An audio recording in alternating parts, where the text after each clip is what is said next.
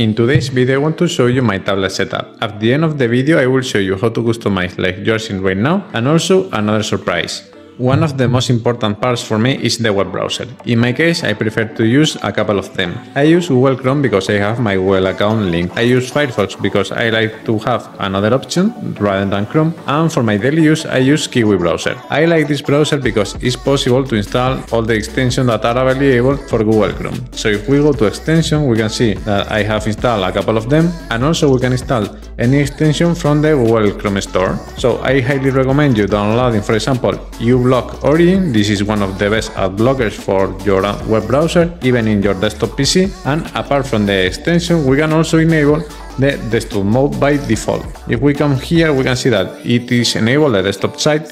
So you can leave this option enabled and you will always look for anything like if you were in a browser. For example, let's look for GitHub and you can see that I have the desktop version of the Google search instead of the mobile version. If we want the mobile version, you can just click on this and you can see this is the normal behavior of a mobile browser. But in my case, I like to have the option to use this like a normal browser, like a computer browser. Apart of the browser, I like to have some good option to use my tablet like a computer. So one of the most important things is the File Explorer. In my case, I use Solid Explorer. This is a paid application.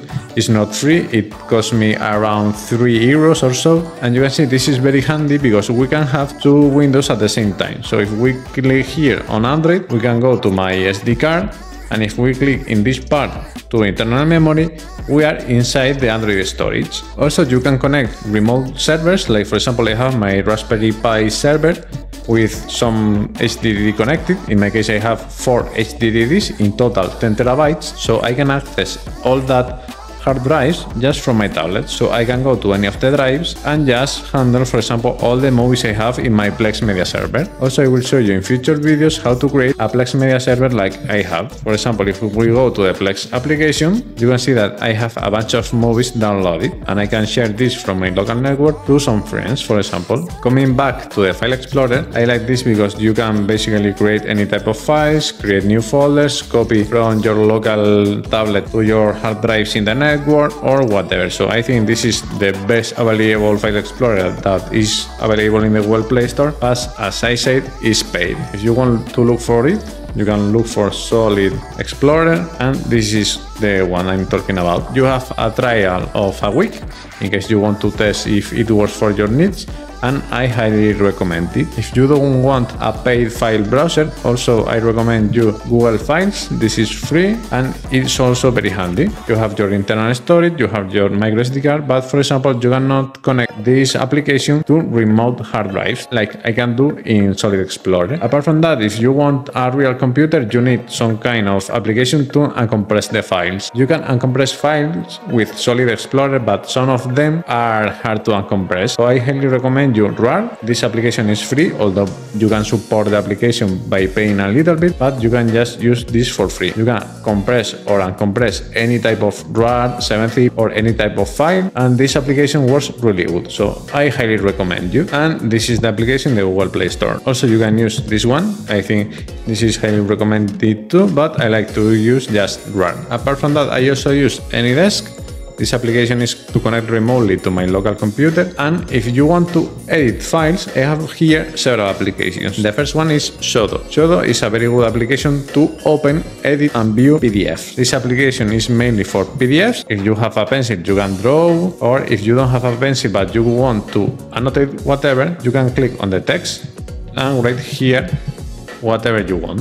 You have several premium options. You can see that here you can pay but I will show you also at the end of the video with the customization I will show you a little trick on how to enable certain features in some applications just by downloading older versions. But you need to wait until the end of the video. And as I said this is the best application for me to manage PDFs you can have several of them open at the same time. And as you can see you can move from one to another just with these tabs. And you can close, you can open, you can export or save the PDFs or whatever you want. Apart from PDFs, if we want, for example, to open Excel files, I discovered these SoftMaker applications and these are really good. As you can see, it's very similar to Excel, like the Microsoft application. You can use Microsoft applications, but the problem is if you use them in a tablet, I think if the tablet is larger than 8 inches, the application costs a lot of money. So for that, I highly recommend you this application. Is for Excel files, but we have also for presentations, for PowerPoints basically. You can use this like a computer. You can select the text, you can check the font, you can put it in bold, in italic or whatever. So again, this is one of the best applications for modify PowerPoint.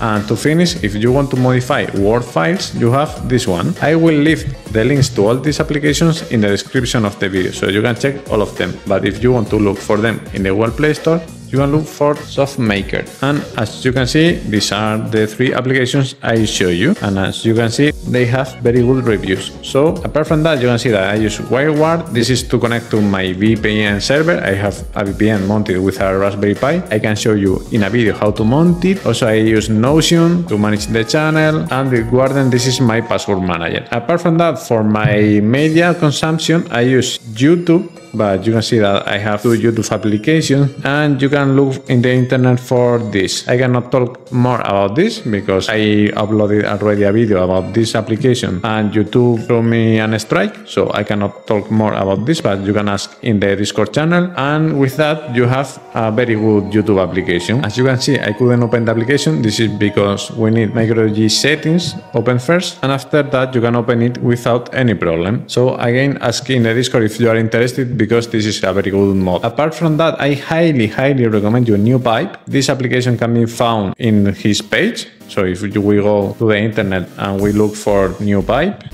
you can download this application from this link. And with NewPipe, you have the opportunity to download videos or put them in background. If we click in background, you will put the video in background like it was a song as you can see. If you click on pop-up, well, first you need to enable the permissions for that. Let's look for NewPipe. Let's allow this. And now if we click on pop-up, you can see we have the pop-up window. And if we want to close this, you can close the app. And also, check this out. We have the opportunity to download a video in audio or in video, as you prefer. You can click on download. And if we go to download, you can check here the process. Apart from that, I use the Gmail application and I also recommend you checking Proton Mail. It's a very secure mail, it's free, so I highly recommend you that. And to finish with the multimedia apps, as I said, I use Plex for my multimedia server and I recommend you VLC to open any kind of video or music file in your Android device. So with VLC, you can reproduce almost any type of movie or any type of MP3 or song and you can select, for example, subtitles, different audio tracks and etc. So I think this is the best application for multimedia. Now, if we go to the gaming part, you can see that I have a lot of applications. What I recommend you from here is checking my reproduction list from all the game emulators like the 3DS emulator, the PS2 emulators, the Game Boy emulator or the Switch one. And I have a very good video on how to customize your Android device to be used like a handheld console. So you can use Emulation Station or you can use a free frontend like Daijisho and you can see that here we have all the games with his art box and everything. Also I highly recommend you checking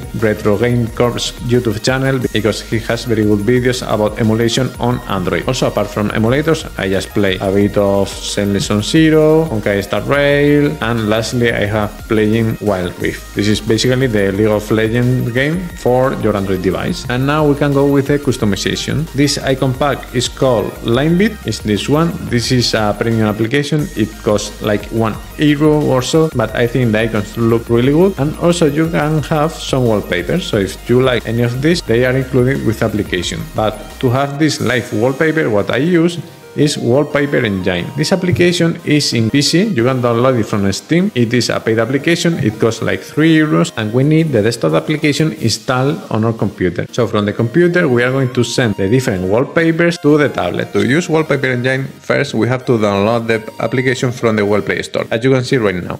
Then we have to go to the computer, to Steam, and buy the Wallpaper Engine application. As you can see, it costs 4 euros and after we install, you just need to open it. When you open it, you can look for any wallpaper available on the workshop You can type different keywords to look for any type of wallpaper. There are a lot of wallpapers available.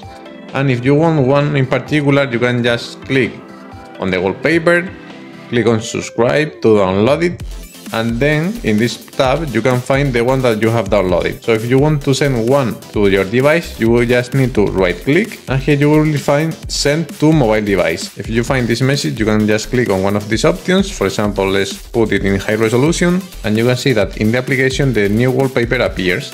So you can just click on the button and apply. And if we go to the home screen, you can see the wallpaper. If it is the first time you use the application, you have to connect it first with your computer. For that, you can click on the add part and pair with computer. You will see that in the wallpaper application from the desktop PC, you will find a code that you have to enter here. Just click on accept. So now you can send a wallpaper from your desktop PC to your mobile device. And now I want to show you another customization. So let's apply this one called Wise Wolf. And now we are going to modify the icon pack. So we can have a white icon pack. For this occasion, we are going to use icons. This is basically white icons. And we are going to apply to Nova Launcher. We are using Nova Launcher here. And now, as you can see, we have all the icons in white. If you look here, or if we open application drawer, we can see that some apps is still in purple. But if you want to modify with Nova Launcher, you can just hold the application, click on edit and change the icon. And now if we go back, we have the same icon as the other Proton Mail application and they are in white. So finally, this is how I have been using the tablet recently. I love this icon panel with this background. I think it is very cool.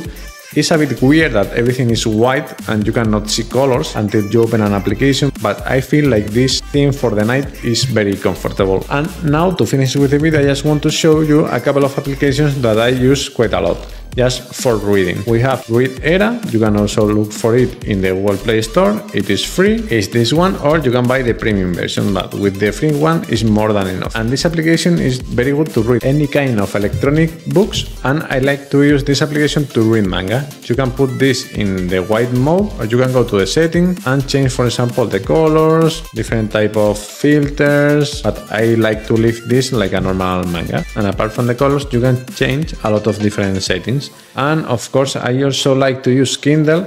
You need an Amazon account, but it is free to use and you can send your digital books or your PDFs to your Kindle account. So you can have other books that are not bought from Amazon in your Kindle application. And in general, I think these two apps are the best one for reading in general. In case you have a tablet with a pencil, I want to show you also TouchNote. This application I think is one of the best applications available for taking notes you can see that you can open a new file, you have several pages or you can create an infinite page. And as you can see, we have pressure sensitivity. You can have a lot of different tools, for example, different colors of pencil or markers or whatever. You can buy the pro version, but with the free version, I think it is more than enough. You can have multiple documents, you can open PDFs, you can write in any type of file, as you can see here. You can create folders and inside a folder you can create multiple pages or multiple notebooks. When you create a notebook, you can select the type of the page. For example, let's put some dots. You can select if you want an A4 size, an A5 or whatever. And I think this is very complete. And now to finish with the video, I want to show you a little trick. For example, when I edit videos, I use CapCut. But recently they have added a lot of functionality that was free and now is premium. So if you want the older version of the application, you can go to your browser. Let's use, for example, Kiwi. And here write the application name, in this case CapCut, and Uptodown. Let's click on the first link and here we can click on other versions. In this page you can see that there are a lot of older versions so you can select an older version, install it and please don't update it from the Google Play Store. So you can have the older version with the old functionality. This same trick applies to Windows version of CapCut or other type of programs and also for example with Xodo, the application that I show you for opening and editing PDFs.